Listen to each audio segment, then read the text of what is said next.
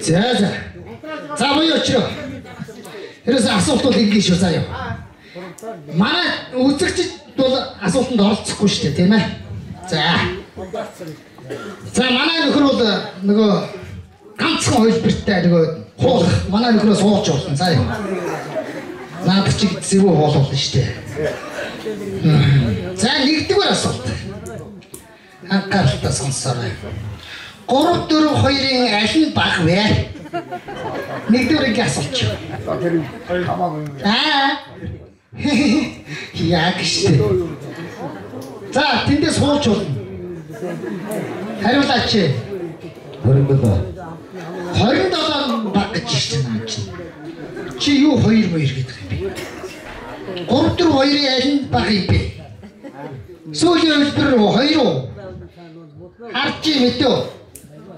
3 4 2-ын аль нь баг байна? Хамгийн баг нь 4 байгаа шүү дээ. Харлаа. Энэ хасар хамгийн баг 4 байгаа дээ. Нэгдүгээр асуулт бүдүүлээ. Анхааралтай сонсорой. Аавдар нэмэх нь ээж тэнцүү юу вэ?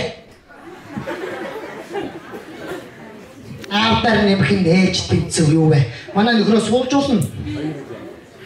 Суу. За хуулийг гэж юу юм? Хонь. За нэрхэл хариулж байгаа юм да. Юу юм?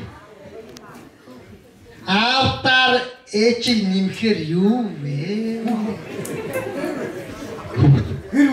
Хүүхдээ.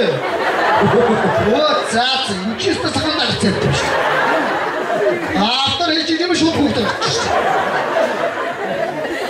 Ингээд нэг бол одоо Монгол орн мод юм олон болно.